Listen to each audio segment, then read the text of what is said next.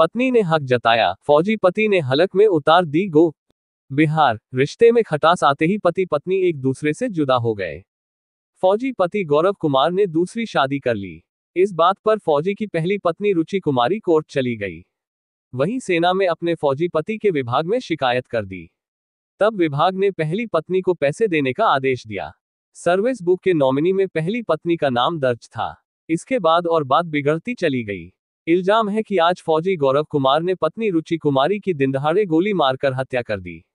ताबड़तोड़ हुई फायरिंग में रुचि का भाई उदय कुमार भी बेतरह जख्मी हो गया। उसे पीएमसीएच रेफर किया गया। रुचि अपनी माँ और भाई के साथ जहानाबाद कोर्ट से घर लौट रही थी। पहले से घात लगाए पति रास्ते में खड़ा था। इस कांड में पति का साथ उसके तीन दोस्तों ने दिया। ये सनसनीखेज वारदात बिहार के जहानाबाद घोसी रोड पर कदरुआ पुल के पास हुई। घटना के बाद मृतका रुचि की माँ प्रतिमा देवी ने मीडिया को बताया कि मेरी बेटी को दामाद गौरव कुमार ने गोली मारी है। पहले उसने मेरे घर आकर बेटी से शादी करने की जिद की थी। उस समय कहा था कि वह रुचि से ही शादी करेगा, नहीं तो कुवारा रह जाएगा।